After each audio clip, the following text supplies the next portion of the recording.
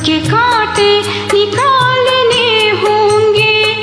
दुख के कांटे निकालने होंगे। मिल जाए खुशी के रास्ते में गम की परछाइयों से डरती हो।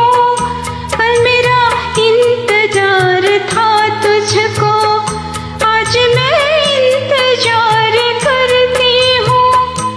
आज समझी